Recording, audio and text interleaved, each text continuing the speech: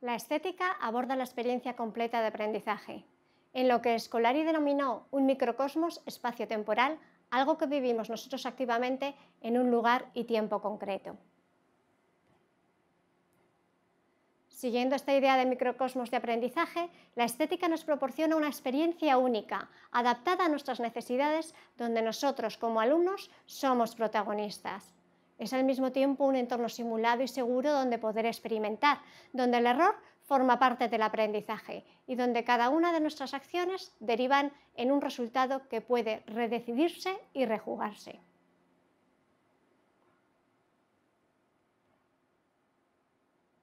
La estética es una respuesta emocional de los jugadores en su interacción con el terreno de juego y está directamente relacionada con las dinámicas, que recordemos son el comportamiento o actitud del jugador respecto a las mecánicas del juego. Las dinámicas son las que crearán la estética. Esa respuesta emocional es lo que hace divertido y memorable y para lo que nos ocupa logra que el aprendizaje sea significativo y duradero. Pero ¿qué elementos son los que hacen que algo sea divertido y memorable? Existen muchas combinaciones posibles de elementos que logran ese efecto memorable, que será diferente en cada uno de los jugadores. De ahí que haya que atender a las características específicas de nuestros jugadores. Algunos de los elementos más comunes son que sea una experiencia sensorial. El incluir sensaciones que se reciban desde diferentes órganos sensoriales está demostrado que favorece la implicación en lo que se desarrolla. No olvidemos que aprendemos a través de los sentidos. La fantasía actúa como un claro motivador hacia el contenido, hace que el resultado sea épico. La narrativa es un elemento esencial en la inmersión hacia el contenido y debe ser creado teniendo en cuenta los intereses y motivaciones del alumno. Los retos. El hecho de ser desafiados despierta la curiosidad y las ganas de participar. Todos tenemos un ente valiente dentro de nosotros, consecuencia de nuestro sentimiento innato de supervivencia.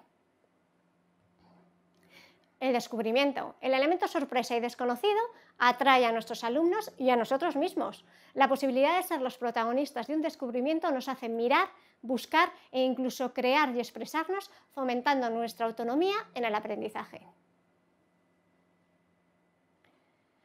Algunos elementos que intervienen también en la experiencia gamificada son parte esencial de la misma, son aquellos que contribuyen igualmente a lograr un efecto emocional en el participante.